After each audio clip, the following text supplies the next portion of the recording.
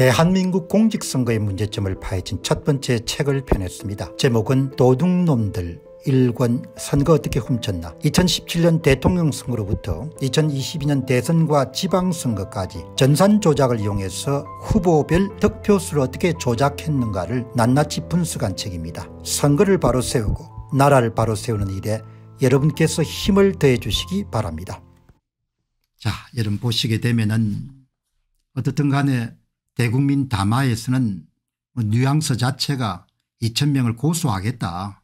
당신들이 합의된 안을 가져오게 되면 은뭐 고려하겠지만 그러나 뭐 분위기 자체가 어마어마하게 경직돼서 이야기하지 않습니까 지금 선거가 바로 목전인데 물론 뭐 선거를 또 의식해서 그런 발언을 했을 수도 있지만 예.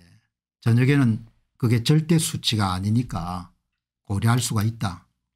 여기에 대통령실은 2천명 절대적 수치가 아니다. 저녁에 이제 예, 그런 성태윤 교수 지금 정책실장을 맡고 계시는 연세대학교 경제학과에 교수로 계셨던 성태윤 교수가 방송에 나가 가지고 숫자의 메모를 안 될 것이다. 그렇지만 뭐 앵클링 이펙트란 게 있지 않습니까 초기에 뭔가를 딱 찍어서 이야기하고 나면 뒤에 게 그렇게 주목받지 못하지 않습니까?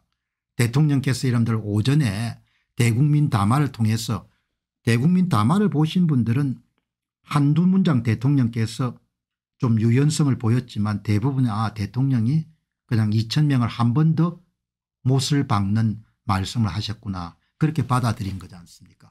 그렇게 못을 박는 일을 했으면 뭐 굳이 못을 또 박을 필요가 없지 않습니까? 이미 본인이 본인 입으로 여러 번 말씀을 하셨으니까 총선이 9일 남았는데 대국민 여름 담화까지 하면서 왜 또 못을 박을 필요가 있는 겁니까 예. 여기 보시게 되면 은 성태윤 대통령실 정책실장은 저녁 kbs 출연해서 윤 대통령의 대국민 담화를 설명하던 중에 2천명 숫자가 협의 대상이 될 수 있다는 것인지 대통령실의 구체적인 입장이 궁금하다는 사회자 질문에 대해서 2천명 숫자가 절대적 수치라는 입장은 아니다. 그러면 대통령께서 이런 입장이 진실된 입장이었으면 대국민 담화할 때 예, 국면을 좀 전환하기 위해서 의사 정원을 확대해야 되는 것은 올바른 방향이지만 의사 의료계에서 2천명에 대해서 논란이 좀 분분하니까 머리를 맞대고 협의를 해서 이 부분을 좀 수정 보완하겠다 이렇게 화끈하게 말씀을 하셨으면 그러면은 모든 부분이 좀 더더 더 여러분들 선거 국면 전환에 도움이 많이 됐겠죠. 그냥 2천명 고소하겠다는 내용을 쭉 나가다가 막판에 여러분들 뭐 합의된 안을 갖고 오면은 그럼 사람들이 대부분은 아 대통령이 확고한 입장이 예, 대통령실의 입장이 아니고 대통령 자신이 2천명에 대해서 확고한 입장을 갖고 계시구나 그렇게 이해를 대부분 받아들였지 않습니까 그거를 저녁에 가가지고 또 성태현 정책실장이 2천명 숫자가 절대적 수치라는 입장은 아니다. 그다 여론을 보고 결정한다는 거 아닙니까 예. 대통령 담화가 나간 다음에 분위기가 그렇게 썩 좋지 않으니까 2천명 숫자가 절대적 수치라가 아니다. 예. 이렇게 이야기하는 거지 않습니까 국면을 전환하려면 화끈하게 좀 하든지 2천명을 먼저 내려놓더라도 협의 과정에서 본인들이 다 칼자를 쥐고 있으니까 1700명도 할 수 있고 1800명도 할 수 있지 않습니까 예. 선거가 바로 코앞인데 좀 정치적 판단을 할 수 있어야 되지 않습니까 예. 완전히 뭡니까 그냥 예 그냥 쇠 심줄 같은 고집이라는 생각이 드는 거죠. 이제 여러분들 밑에 가면은 이 성태윤 정책실장이 2천명 숫자가 절대적 수치가 아니다. 예, 거기에 대해서 환영하시는 분도 계시지만 몇 분은 쿡 찍어 가지고 야 너거 정신 좀 차려라 그런 이야기가 꽤 많습니다. 예. 왜 지금에 와가지고 국힘당 내부에서조차 2천명 고집에 대해 경악을 금치 못하니까 예. 오전과 달리 저녁에 성태윤 씨가 나와서 입장을 바꾸는 게 아니냐. 정치라는 것이 갈등 조정의 기술이 있는데 대통령실은 정치를 하는 것이 아니고 검사질을 하고 있다는 겁니다. 좀 표현이 여러분들이 이렇게 거친 표현을 푸르미 님이 쓰셨지만 전국을 찌르는 거지 않습니까 부산 엑스포 때도 그렇게 분위기 파악 못하고 일하더니만 이번에도 분위기 파악이 참 늦다. 예. 물론 반대하시는 분도 29명이고 찬성하는 분도 36명이니까 찬반이 여러분들 이렇게 오고 가는, 오고 가는 것은 이해를 할 수 있습니다. 그런데 어떻게 이렇게 정치적 감각들이 없냐 이야기죠. 바로 내일 모레가 선거고 예. 여당의 후보들이 다 죽겠다고 여러분들 이야기하게 되면 은 좀 수그리는 모습을 보이는 것 수그린다고 이런 대통령이 하고 싶은 일을 못하지는 않지 않습니까 여기 여기 보시게 되면 은 2천명 철회 이후에 재협상을 하시기 바랍니다. 빨리 좋은 그림을 보여주시기 바랍니다. 이, 이분은 자주 글을 남기시는 분인데 2천명이 절대적 수치가 아니라고요? 아니 아침에 대국민 담화에서 대통령께서 2천명이 절대적 수치라고 국민을 향해 설교를 해놓고는 저녁에는 부정하시는 겁니까? 아주 국민을 농락하시네요. 이런 사람 말을 믿고 사는 국민들이 불쌍합니다. 왜 인간이 덩치는 크면서 하는지는 그리 쫀쫀한지 모르겠습니다. 그냥 자기가 자기 입으로 2천명을 1천명으로 줄여서 시간을 두 배로 추진하겠다면 깨끗하게 마무리되는 것을 그렇게 헤매고 있습니까 그러니 예? 머리가 안 돌아 참 안 돌아갑니다. 이렇게 이야기하지 않습니까 이런 생각이 들었던 국민들이 얼마나 많겠습니까 무슨 2천 명이 한 해 늦추면 무슨 뭐 큰일이 납니까 선거가 바로 코앞인데 여당의 후보들은 다 죽겠다고 이러면 아우성인데 여기 호미님은 더 직설적으로 이야기하지 않습니까? 2천 명 근거부터 대보시오. 근거 없지 않습니까? 2천 명 근거가 없는 것은 모든 사람이 다 아는 거지 않습니까? 2천 명 근거부터 대보라는 사람이 의사 정원 학대를 뭡니까 반대하는 사람은 아니지 않습니까 제가 의사정원 학대를 반대하지는 않습니다. 협의를 해가 필요하면 늘려야 되는 거죠. 그러나 이렇게 투박하게 이렇게 거칠게 검사들이 피의자 다듯이 의사 집단을 다루어 가지고 이렇게 의료 체계를 엉망진창으로 만들어서 안 된다는 이야기인 겁니다. 보시면 취임사 때 견해가 다른 사람들이 조정하고 타협하기 위해서는 과학적 진실이 전제돼야 된다고 했으면서 오랜 기간 동안 절차를 통해 산출한 숫자라고 거짓말을 하시네요. 인용한 논문의 저자들도 아니라 했고 현장에 있는 의사들도 교육이 의대 교육이 이렇게 불가능하다고 이야기하지 않습니까 예. 아주 거친 너무나 거친 민주주의 훈련이 전혀 안 돼 있는 그런 종류의 일을 지금 하고 있는. 예. 오늘 여기에 파스블린님 말씀하신 것처럼 대화와 타협을 통해서 필요하면 단계적으로 늘려야죠. 그걸 누가 반대합니까 누가 반대하겠습니까 대통령은 과학적 근거를 두고 만든 2천명이라고 말하고 밑에 성태윤 씨는 예, 좌풍구도를 하고 있고 국가 근간이 된 사업들을 이리 주먹구구식으로 하는 것은 언제까지 봐야 될지 참 딱합니다.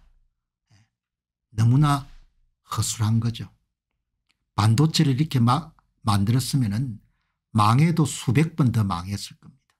세금 갖고 먹고 사는 사람들이 정말 밥값을 못합니다. 일처리를 좀 야무지게 좀 하면 되지 않습니까 대통령은 왜 이렇게 애매모호한 처신을 하십니까 의료계에서는 의대 정원 자체를 반대한 것이 아니라 순서가 잘못됐다는 것인데 왜 필수 의료 분야 지원을 끓이는지 그리고 전공의들의 열악한 근무 여건들에 대한 대책을 수립한 이후에 의사 정원 증가 등은 단계적 접근을 요구하는데 뜬금없이 의료계획 한다는 명분으로 2천명을 정원한다고 발표해서 국민들을 혼란과 고통 속으로 빠지게 하는데 이게 뭡니까? 제가 일찍부터 경고를 했지 않습니까? 이 문제를 제대로 처치를 못하게 되면 은 4월 10일 총선에도 영향을 미치지만 그 이후에 대통령이 대단히 어려운 상황에 처하게 될 것이고 본인을 여름 그동안 지지해왔던 많은 사람들로 하여금 등을 돌리게 만들 것이라는 이야기인 겁니다. 그리고 그 등을 돌리더라도 그냥 단순히 돌리는 것이 아니고 기대가 여러분 깨졌을 때 사람들이 흔히 가질 수 있는 어마어마한 실망과 여러분들 그냥 미워하는 감정 이상이 윤 대통령을 향할 수가 있는 겁니다. 한마디로 행편없는 사람이네 이런 이야기가 나온다는 이야기입니다. 중도층 66% 이상이 의료계와 정부가 타협해야 된다고 했고 58%가 정부가 현재 잘못하고 있다고 답했습니다. 정부가 의대 정원을 밀어붙이는 것을 찬성하는 사람들 중에 77%가 더불당 지지하는 점이 시사하는 바가 큽니다. 정부가 의대 정원항을 쉽게 밀어붙여서 총선에서 야당에 유리하게 작용되기를 바라는 야당 지지자들이 많습니다. 야당 지지자들의 여론을 국민 여론으로 착각하면 안 되는 겁니다. 완전히 오판을 한 거죠. 그러니까 선거 패배에 대한 책임을 한동훈 씨가 많이 져야 되는데 뭐 윤 대통령이 이제 스스로 알아가지고 질 수밖에 없는 상황으로 본인 스스로를 내보낸 겁니다. 오늘 이 문제에 대해서 궁금함을 가지신 분들은 정말 여러분들 이 사례가 멋진 사례입니다. 예. 총 의료비 지출이 현재 낮은 수가와 한국적인 특수사항이 진로수가 OECD 평균의 3배가 넘는 상황에서 예. 의료수가는 3분의 1이고 그냥 의사수를 증가시키게 되면 은 의료비 지출이 1000원에서 1600원이나 2000원으로 폭증할 수밖에 없는 겁니다. 그리고 현재 한국 사람들은 OECD 기준을 적용하게 되면 의료수가는 3배를 올려야 되고 그리고 의사수를 여러분들 3배로 올리게 되면 9천원 상당의 여러분들 의료 서비스를 천원으로 누리고 있는 겁니다. 여러분들 간단하게 이야기하게 되면 윤 대통령께서 그렇게 금과 옥조처럼 삼고 있는 경제협력개발기구에 의사수도 맞추고 의료수가도 맞추게 되면 은 진로수는 지금까지 유지를 하게 되면 은 의료수가와 의사수를 동시에 여러분들 의사수를 3배 증가시키고 의료수가를 여러분들 3분의 1이니까 3배 증가시켜 가지고 정상으로 OECD 국가하고 같게 만들게 되면 은 한국 사람들이 지출해야 될 총 의료비 지출이 9천 원인 겁니다. 9천 원짜리 여러분들 의료 서비스를 천 원으로 누리고 있는 겁니다. 그러니까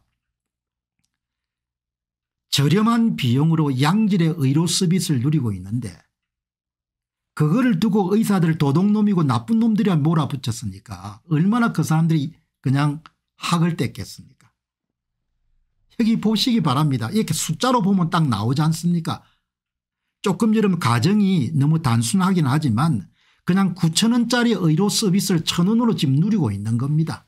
예. 낮은 의료 수가하고 의사 접근성 이름들 OECD보다 현저하게 높기 때문에 여러분 제가 오늘 이런 이야기를 드리는 것은 어떻든 이 문제를 좀 이게 국가 백년 대계지 않습니까? 모든 사람이 늙어갈 수밖에 없는 것이고 양질의 여러분들 서비스를 저렴하게 누릴 수 있는 의료체제를 유지하는 것이 얼마나 큰 복입니까? 모든 사람들이 나중에는 의사들의 도움을 받을 수밖에 없지 않습니까? 그래서 이 체제가 대단히 중요한 체제이기 때문에 제가 윤 대통령에 대한 호불호가 있는 것은 아니고 그냥 쿨하게 이렇게 이야기를 하는 겁니다. 9천 원짜리 의료 서비스를 천 원에 누리고 있는 겁니다. 그리고 의사수를 지금 기준으로 해가 늘리게 되면 은 그냥 의료비 지출은 천 원에 1600원 2천 늘어날 수밖에 없는 겁니다. 그런데 뭐 좀 늦은 것 같아요. 예, 여기 의사협회의 홍보위원장으로 계시는 분 말씀처럼 그동안 기회가 여러 번 있었는데 대통령이 좀 책임을 면하고 좀 부드럽게 해결할 수 있는 그런 부분들이 상당히 좀 많이 늦은 것. 2022년도 대통령 선거의 실상을 파헤친 도둑놈들 2권 2022년 대선 어떻게 훔쳤나 그리고 도둑놈들 3권 2022년 대선 무슨 짓을 했나를 출판하게 되었습니다. 공직선거를 해부하는 도둑놈들 시리즈가 계속 나올 수 있도록 여러분께서 구매해 주시고 주변에 널리 알려주시기 바랍니다. 선거를 바로 세우고 나라를 바로 세우는 일에 여러분께서 힘을 대해 주시기 바랍니다. 감사합니다.